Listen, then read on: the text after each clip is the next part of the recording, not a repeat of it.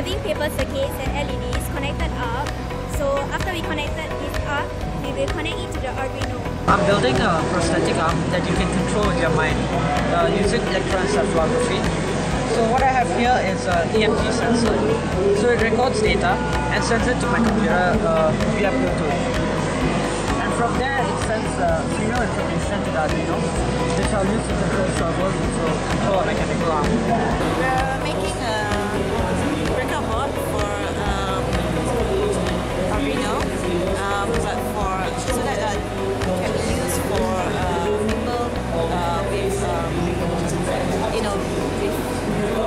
hay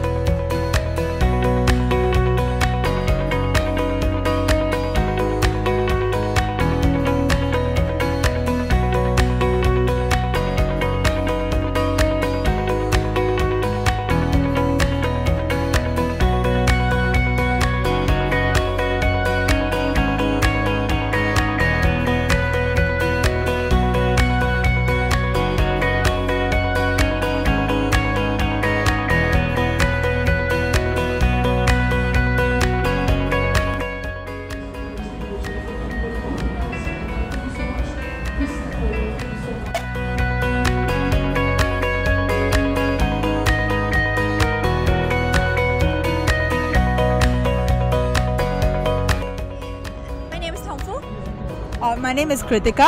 I'm Eileen. And we are the team behind Science Hack Day Singapore. Okay, uh, so so what's really wonderful about Science Hack Day is the really different kinds of projects that you see, uh, from from laser cutters to rubber band guns. You know, you've got a very wide spectrum, and it's and it really shows you how different people really learn differently and work on different things that mean to them. Yeah.